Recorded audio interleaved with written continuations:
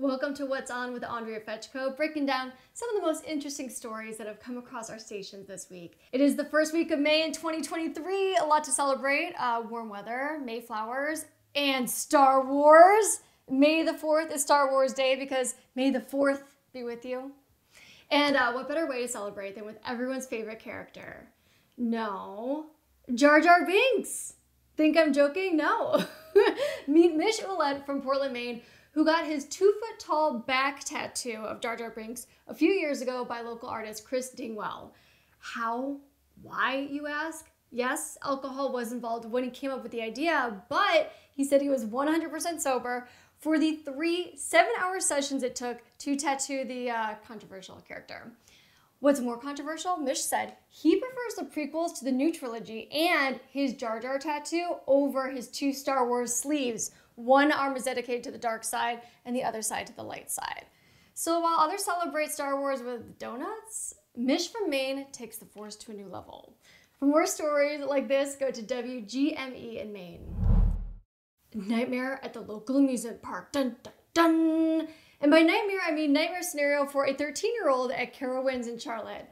According to WLOS North Carolina, a 13 year old got lured over to the Cosmic XL bonus game, a claw machine, and decided to do what 13 year old boys do test the limits. He climbed in, lured by the sweet, sweet opportunity for a massive amount of inexpensive stuffed animals, and didn't have a backup plan, stuck inside the claw machine. So now, not only did it cost his family a figurative arm and a leg to buy tickets to the theme park, now their son may need to lose an actual arm and a leg to get out of the claw machine.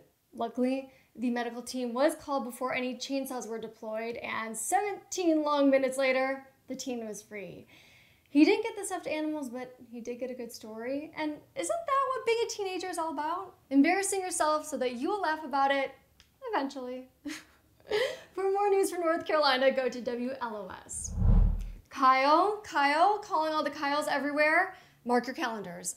On Sunday, May 21st, you need to go to Kyle, Texas, a suburb of Austin, Texas, to break the Guinness World Record for the largest gathering of people with the same name. This will be the fourth time the Kyles have come together to break the record, and they are making sure the fourth time is a charm with a Kyle Fair. Yes, a weekend festival of ribs, Ritas, carnival rides, and a massive musical lineup. You don't need to be named Kyle to get into the fair, but there is one rule. You cannot come in Lady Gaga's meat dress. Yes, this is according to the website. and what name currently holds the official record? The meeting of the Ivans in Bosnia Herzegovina in 2017, who gathered a whopping 2,325 Ivans.